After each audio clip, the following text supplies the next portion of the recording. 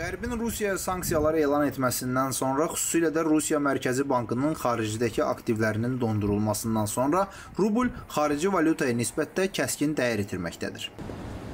Martın 10-na olan məlumata görə Moskva birjasında 1 Amerika Birləşmiş Ştatları dollarının məzənnəsi 120 rublu ötüb. Valyuta dəyişmə məntəqələrində isə dolların alışı 107, satışı 135-175 rubl arasında dəyişir. Bununla belə valyuta dəyişmə məntəqələrində dollar satışı demək olar ki, dayandırılıb. Banklar dolları qəbul etsələr də, satış üçün dolların, o cümlədən avronun olmadığını bildirirlər. Dolların bahalaşması Rusiyada qiymətlərə də təsirsiz ötüşməyib. Bahalaşma həm ərzaq, həm də qeyri-ərzaq məhsullarında özünü göstərir. Lakin Rusiyada ticarətlə məşğul olan həmyerlərimiz bildirir ki, Rusiya Azərbaycandan, ümumilikdə MDB ölkələrindən gələn malların qiymətində elə də artım yoxdur.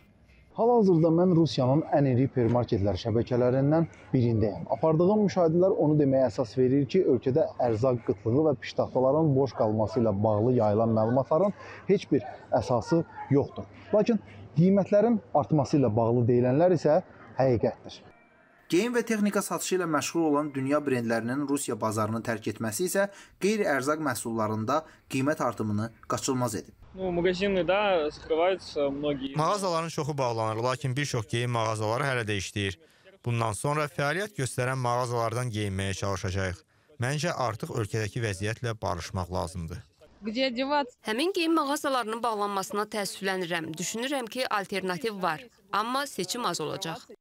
Texnika satışı ilə məşğul olan mağazalarda da ajotaj yaşanmağa başlayıb. Bütün əksər məişət texnikasının qiymətinin 2 qat artmasına baxmayaraq, insanlar həmin məhsulları almağa çalışır. Bəs ekspertlər bu barədə nə düşünür? Bu o demək deyil ki, onlar Rusiya bazarından bir dəfəlik gediblər. Həmin şirkətlər Qərbin işgüzar mediasının qınaq obyektinə çevrilməməsi üçün vaddım atıblar. Onların çoxu vəziyyətin normallaşmasını gözləyir və bunun üçün açıq qapı saxlayıblar. Ola bilsin ki, həmin şirkətlərin yenidən Rusiya bazarına dönməsi baş tutmasın, çünki həmin şirkətlərin istehsal etdiyi məhsulları Çin məhsulları əvəz edə bilər. Bir sözlə, ekspertlər Rusiya iqtisadiyyatının stres dövrü keçirdiyini bildirsələr də, bunun hələ ki kritik olmadığını vurğulayırlar. Lakin hazırda baş verənlər onu göstərir ki, sabah nə olacağı heç kimə məlum deyil. Fərid Əkbərov, İctimai Televiziyanın Rusiya bürosu, Moskva.